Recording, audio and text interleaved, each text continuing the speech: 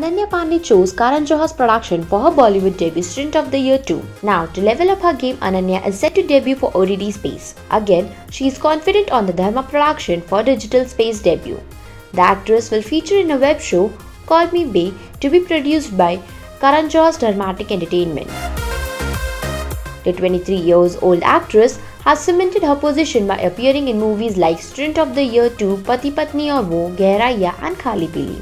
She made her last big release last month with Liger opposite Vijay Deverakonda. Liger produced by Dharma Production was a massive flop at the box office.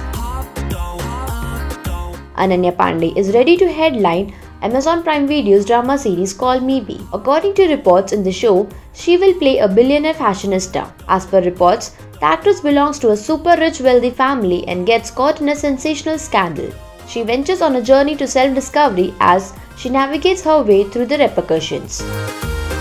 The series is likely to go on floors by the end of the year and is anticipated to release next year. Call Me Bae will be headlined by Collin, who was supposed to direct Janhvi Kapoor and Kartik Aaryan's Dostana 2.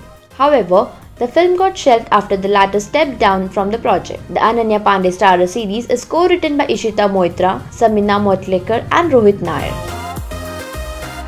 Ananya Panday recently announced her next big ticket movie with Ayushmann Khurrana. She will be paired opposite Ayushmann for Dream Girl 2, a sequel of the 2019 film featuring Nushrratt Bharuccha as the female lead. Prior to starting Amazon Prime's Call Me Bae, the actress will wrap the shoot of Dream Girl 2.